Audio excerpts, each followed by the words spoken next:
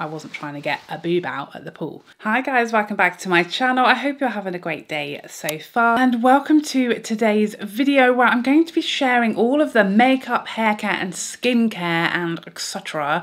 that I took with me on my family holiday recently. Me and my family went away for the half for the half term and I wanted to share with you everything I took. I'm always asked what do you wear, what do you take with you on holiday when you travel, etc. So I thought rather than it, let's put that off for a few more days. And I'm going to share all of the tea on what I took with me, you see.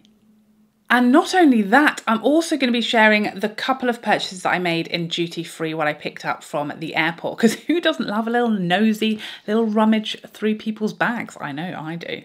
Is it just me? So I took with me three little wash bags or whatever you would like to call them. My Laura Mercier makeup bag that I always travel in. This is literally just makeup in here. Then I took this Sigma brush envelope, like pencil case type situation that has the Sigma brushes in and some other stuff. And then this is like my toiletries, all of my kind of other stuff. Skincare, hair care, perfume, etc. So let's start off with that one. This travel case, by the way, this wash bag was um, from NARS. It was, I did receive it in PR, so I'm not sure if you actually can buy it, but my foundations came in here. So it is the perfect size is what I found. Now don't look too closely at this because, oh, as you can tell, I haven't washed it yet, but that is, this is my uh, makeup removing cloth. So that is what I took, like my flannel. The Magnitone one, I talked about this in a monthly favourites recently. I love it. It's just perfect for getting like every last scrap of makeup off.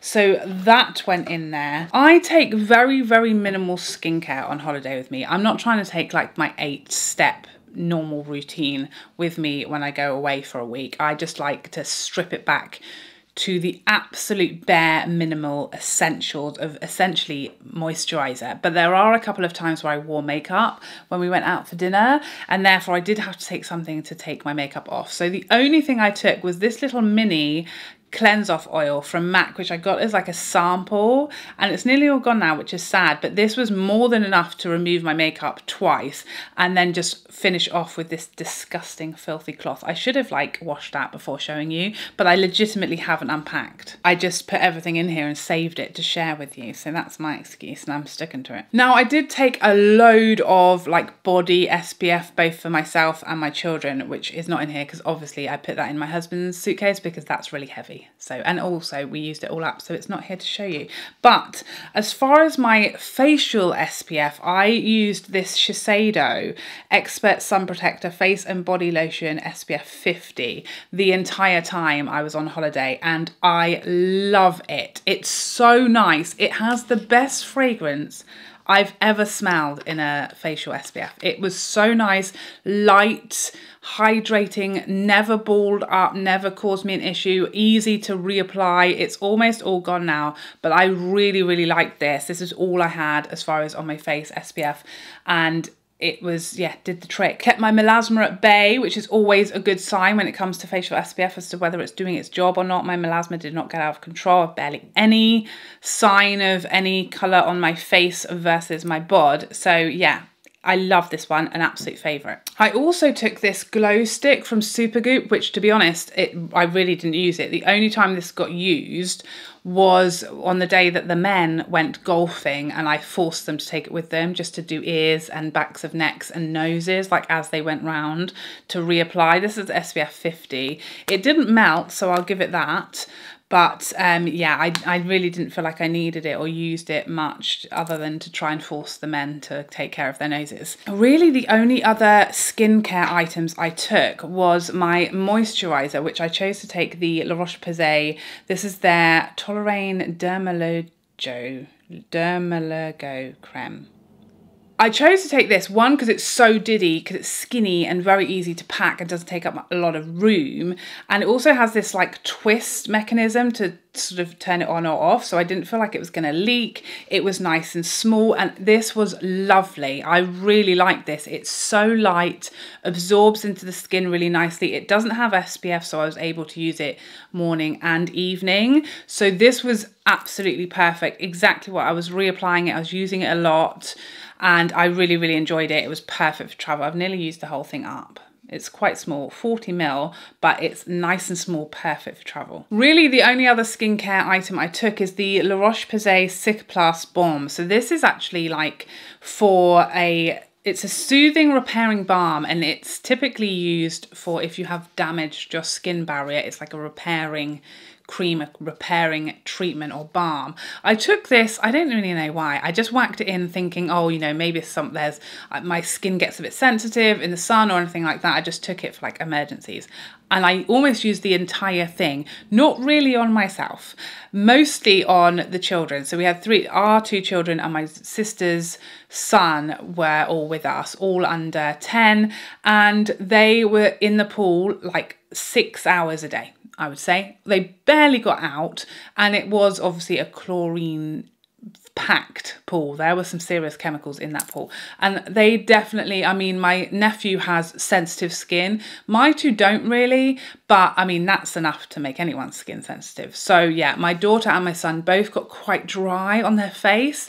Uh, so I was using this on them and it literally instantly repaired their skin. Like you could see their skin was like sore and very dry looking, a bit red and inflamed.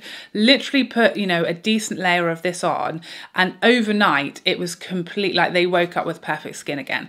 And it, it was literally miraculous. So I didn't really use it on myself. I also put this on my husband when he got a little bit sunburn, again, because of the golfing. And yeah, again, it worked miracles. So I was really glad. This was kind of like a throw it in. I don't really know why I'm taking it, but it was a, a treat. It was definitely a good idea to take that. It saves some faces, let me tell you. So of course deodorant, you don't really need me to tell you about that. You know what that does. This is my favourite. It's the Sure Maximum Protection, my favourite deodorant. So yeah, that's enough about that really. I did take both my Olaplex shampoo and conditioner. I, well, I did briefly consider not taking them and just washing my hair before I went and trying to make it work. But I didn't really want to take dry shampoo or a lot of hair care or styling products, which I, I need once my hair goes past like day four or five. So instead I just took my shampoo and conditioner uh, and thank goodness I did. So I also took the number six Olaplex. This is like the leave-in reparative styling creme. So it's this, I mean, this was a hero product as well as the La Roche-Posay. This was like my hero product of the holiday. I used this on everybody. I put it on my hair like during the day. I put it on my hair after I'd showered, after I'd been in the pool all day. I was applying it constantly, but also this saved my daughter's hair from being like hacked off by the end of the holiday because she was like, she has very long, quite fine hair and she was in and out in and out in and out the pool all day never drying it you know never brushing her hair oh my goodness that stuff was like an utter mess. The tangles in that hair, I've never seen the likes of it and I hope to never see it again. It was horrendous. And I hadn't taken her detangling spray that I usually use because I did not foresee this happening. I didn't know this was coming. And thank goodness that I had this stuff because I just worked a load of this through the lengths of her hair and it took from like her screaming bloomin' murder when I was trying to get the knots out to it being like an easygoing time. And any hair, you know, her hair and my hair was getting a bit dry in the sun and also in and out the pool all of the time. And this literally saved it. It was, it's a miracle product. I was using it constantly all of the time for many different reasons. And now I'm just pray, I thank goodness that I decided to take it because I originally really didn't think I needed it. We'd all be bald now if not for that. So the only other things I did take my Laneige lip mask, my lip sleeping mask, because my lips get ruined on holiday. I don't know about yours, but mine certainly do. Nail removing, nail removing, no, that's not right. I don't want my nails removed. Nail varnish removing pads, just really easy. I don't want to take a liquid with me, but I did want to change my nails sort of halfway through the holiday. Of course, a razor, just a small little disposable razor, touch up the pits at the halfway mark, you know. I took one nail polish, which is OPI's Cajun Shrimp. I mean, you can see literally the perfect summer shade for hands and toes. So that was the only nail polish I took as well as my the base and top coat keep my nails in tip top condition. Then, because I just had my brows um, laminated before I left, now you need to put oil. What kind of oil is it? Castor oil. Castor oil on your brows every day after you've had them laminated, especially as I was going in hot weather and also in and out the swimming pool. So I bought these little containers, these empty like mascara bottles from Amazon. I got a few of them and I decanted some of my large castor oil into here so that I could keep up my brow maintenance while I was away and they are genius. It really has a nice sort of plunger that scrapes the excess product off. So it was really, really nice. I was putting this on my brows day and night and they lived to see the end of the holiday. So I'm going to keep doing this now because it's much easier than using the large bottle.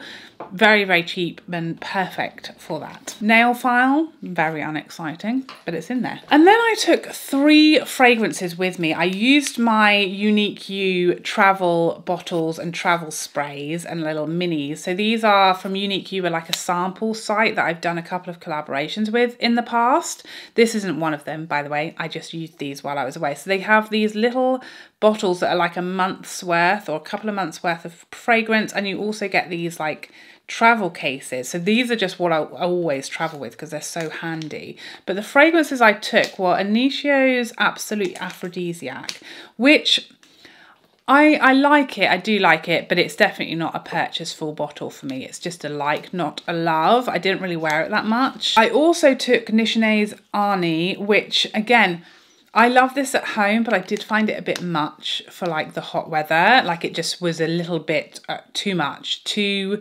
heavy, too thick in the hot in the in the heat. It was just too much. I prefer this more so at home and more in the winter than I did on holiday. The one that really surprised me was Parfums de Marly's Oriana. This I couldn't stop using and I fell a bit in love with this perfume on holiday. It's just perfect for holiday. It's very light, it's sweet but fresh and it's just I found it per like summer perfect. Not my typical type of fragrance, but I might actually have to buy a full bottle of this now. I just fell in love with it while I was away. It was the only fragrance really that I took that I wanted to wear like every night. And yeah, I just really fell in love with it over the time. A fragrance that I kind of liked previously, but never considered buying the full bottle. And now I think I'm gonna. So that was everything from like a skincare, body care, hair care, fragrance perspective. Now let's move on to the makeup. So this case from Sigma, this I got in PR and it was this case with a brush set inside. Now I put some extra things in here. This is my daughter's very cute dolphin hair uh, clip and then I've used this little Kirby grip case to put her hair elastics and Kirby grips in. That also fitted in there beauty blender that as you can probably tell I didn't end up using. And then my daughter's butterfly hair accessories all fit in there as well as all of the brushes. Now this is one of like the things I'm most excited to talk to you about in this whole lot because this brush set I'd never used it prior to going on holiday, but I just sort of looking at it thought, you know what, I feel like that kind of is everything I need in a set. So there is like a large sort of kabuki get off hair. So there's a large like kabuki liquid and cream brush and then there are four other brushes. So these two are like eyeshadow, there's like a flat brush and then a very small little diddy sort of blending brush and then you've got what could be, you know, for blush, bronzer, highlight, this powder brush, slight angle to it and then this sort of powder brush. So that is the set. And let me tell you, this was everything I needed. Traveled very, very nicely. Obviously, in the case it comes with to keep them all together and safe in there, and it also would fit a few other bits as well, which is really handy. But this did everything. I only did my makeup twice while I was away, both like evenings that we went out for dinner, and I used this brush for foundation, concealer, and cream bronzer and blush. And then I used this brush to like set like use my setting powder under my eyes. This one I used for blush and highlight and then these two are all I needed for my eyes. I used this with some cream bronzer just in the crease and then to use like, any shimmer I just used this one as well as like my finger.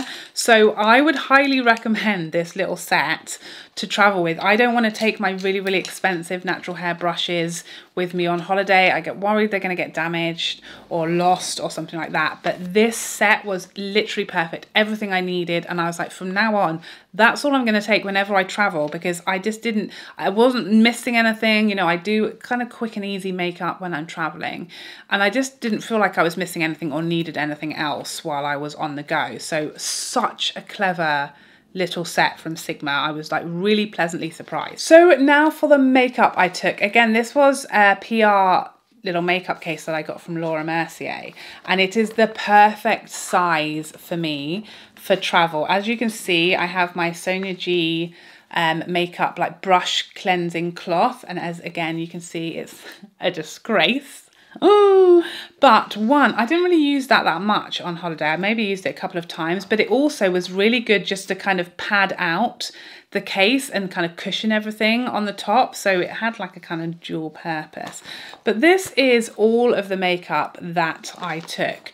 I don't really take like my favorite makeup when I travel. So there are a couple of bits in here that I do love and they are my favorites because they won't, they're not the sort of product that can get damaged or smashed or anything. But typically how I decide what to take is that I take stuff that is not going to get damaged, that if my whole case got stolen or lost, there'd be no disastrous things that I am obsessed with that I can't get again, anything limited edition. I also don't take anything that I think will break e very easily. So yeah, I do lean towards cream products, which may surprise you because I'm not really a cream girl, but it's not because I love creams or they're my favorite products to use. It's just because obviously they're safer to travel with than powders. So I took my Charlotte Tilbury primer. This is the Invisible UV Flawless Poreless Primer. I have a review of this. I had a few people ask me what my thoughts were on it. I reviewed this when it came out. It's been out quite a while here in the UK. It has SPF 50 in it, so that was the main reason why I wanted to take this one. Also a squeezy tube rather than a glass or plastic bottle like some of my other primers. So I felt like it was safer to travel with and it also gave me that extra SPF when I was going out in the evening. So I felt like that was a good choice. It's also very nice and hydrating, which you quite often want when you're going out at night and it's hot weather and your skin may be getting a bit dry. It was perfect. The foundation I chose to travel with with the Charlotte Tilbury Beautiful Skin. One, because it's quite a natural and you can apply quite a nice light amount of coverage. Two, again, squeezy tube and not a glass bottle so a bit less scary to travel with. Also I took the shade 7n which I knew I could use like at the beginning or the end of the holiday. I can make it work either way. So it was just a good shade and also a nice travel friendly tube or package because it's not going to smash or break. Although this Pat McGrath concealer is a glass bottle, so typically I wouldn't have chosen it, but I just can't use any other concealer because it's my favourite. So I thought I'd take the risk. Now, I didn't want to take my Pat McGrath under eye powder because that I definitely feel like it would it would crumble and smash and that would be sad and a huge mess. So I decided to take the Hourglass loose powder just because I had a mini of it. It's not one of my favourite powders but I'm not really trying to like wear my absolute best makeup on holiday. I'm just trying to do something, a little something and not have a big mess and a big smashed horrendous disaster in my makeup bag. So I took this one. It reminded me why I didn't really like it. Concealer just didn't look anywhere near as good as it does when I set with my Pat McGrath, but you know, it did the job. And no one was really looking that closely at my under eyes anyway. The only bronzer I took was my new Charlotte Tilbury cream bronzer. I took the shade medium and I fell even more in love with this bad boy while I was away. I, you know, I only did my makeup, as I said, twice. I used this in the crease for my eyes as well as on my face. Of course, this was a safer choice than any sort of powder bronzer because it's a cream. So, and it's also quite nice and flat and compact. Doesn't take up a lot of room, but it has a large mirror that stands up on its own. So this is what I used as my mirror while I was doing my makeup. So again, a very good choice for travel. I also took one of my little Charlotte Tilbury travel, the five minute makeup kits. I did swap around what was in here. So I took the Golden Glow highlight, the Pretty Fresh lip and cheek stick, and the Pretty Fresh eyes. The only, oh no, I didn't, I didn't use the eye stick actually in the end, but I did use the blush and also the highlight stick one of the times that I did my makeup. As I said, I only did it twice.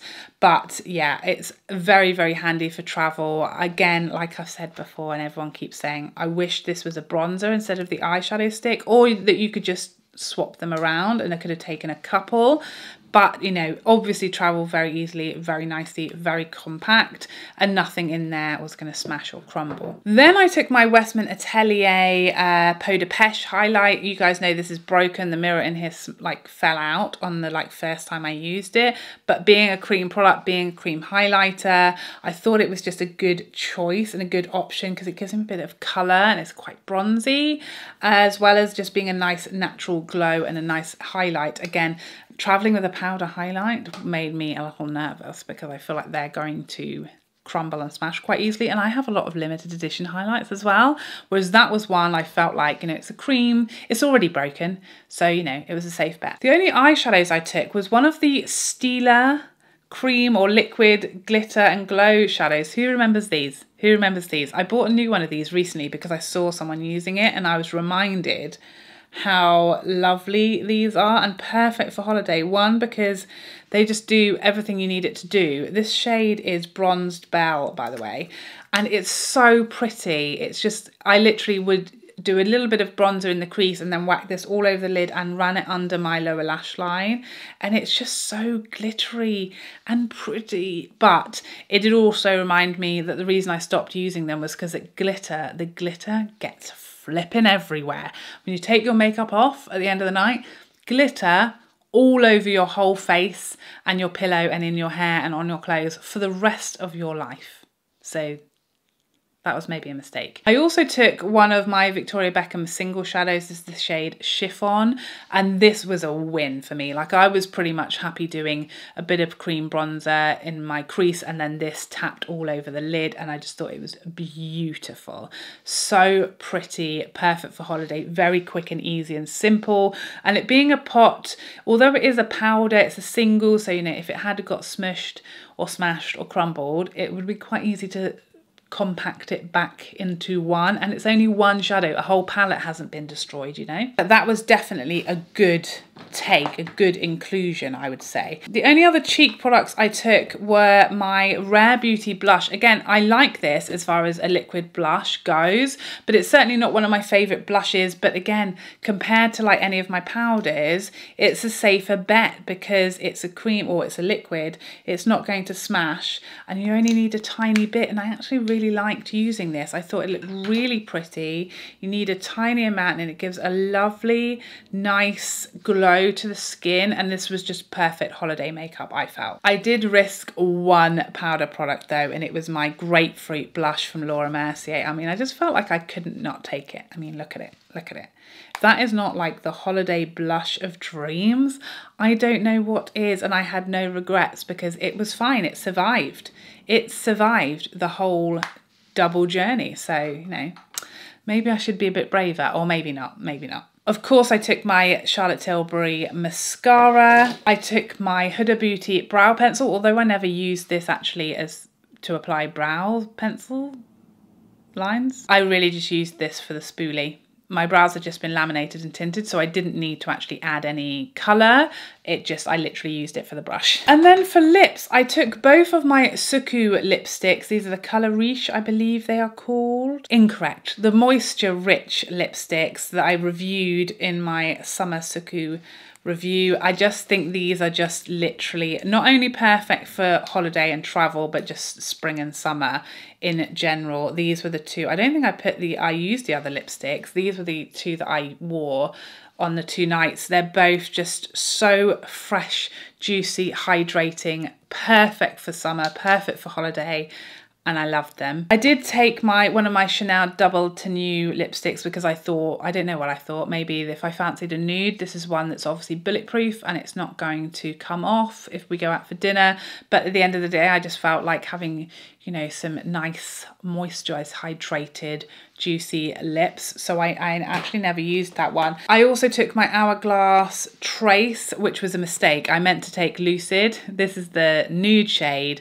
I meant to take the uh, peachy shade, but obviously I was packing in a hurry and I mixed them up. So I didn't use this because I was just not in the mood for a nude, you know? I was on holiday. I wanted all the peachy corally goodness. So there you have it. That is everything that I took with me as far as makeup, skincare, hair care, perfume, etc.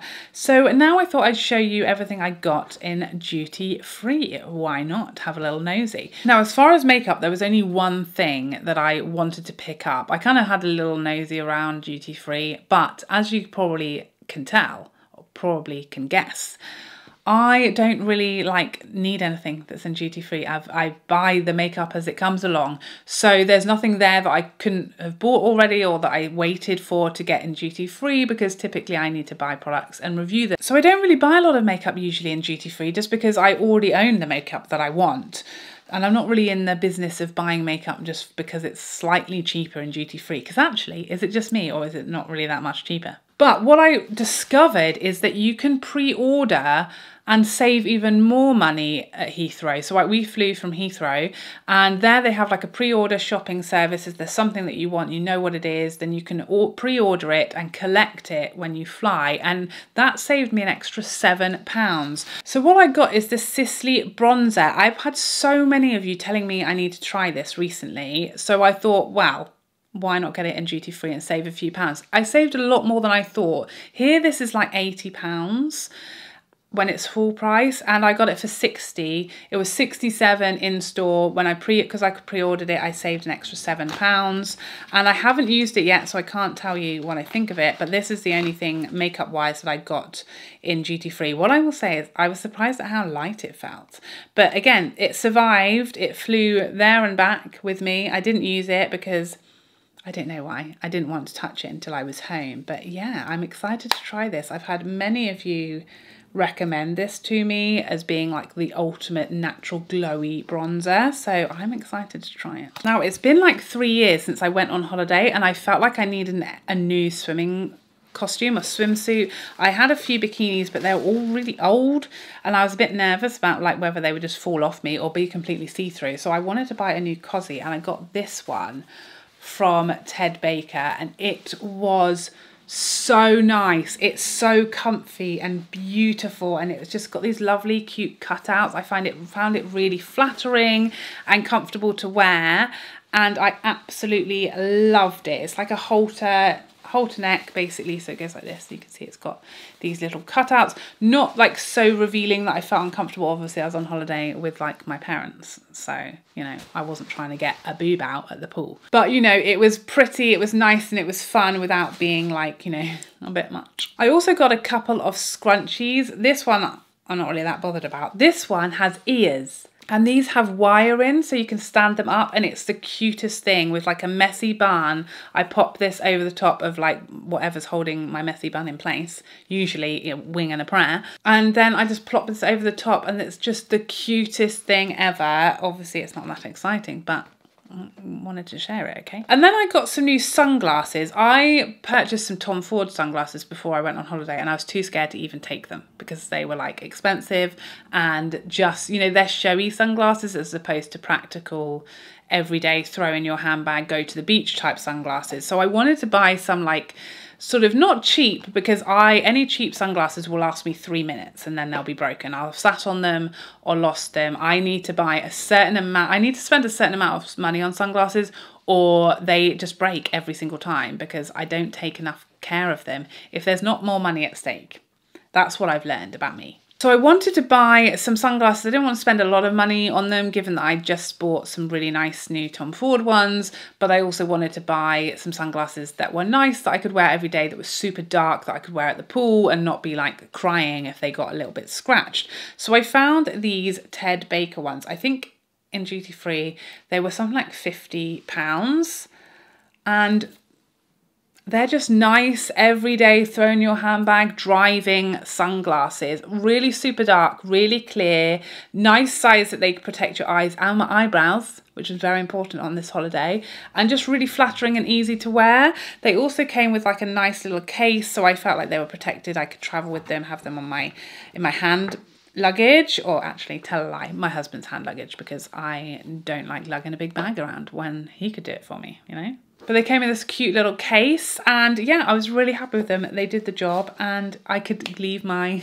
very expensive Tom Ford ones in the drawer where they will stay probably forever not being worn. So there you have it. That is everything that I took on my holidays with me. I hope this is helpful and it gives you some ideas if you're packing or going on a trip or you're going away and you're not really sure what to take. I really don't wear a lot of makeup on holiday. I think, you know, we were there for a week and I wore makeup twice, both times just when we went out for dinner and it was very light, quick and easy and that's kind of how I like to keep it on holiday. For me, it's just about, you know, taking 10 minutes to feel a bit more glam and yeah, pretty easy going. Doesn't need to be long wearing, doesn't need to be especially holding up to the heat because, you know, it's nighttime, so it's not that hot anymore. So I hope you enjoyed this video and I'd love to see you in the next one. Otherwise, take care for now. Bye bye bye bye bye.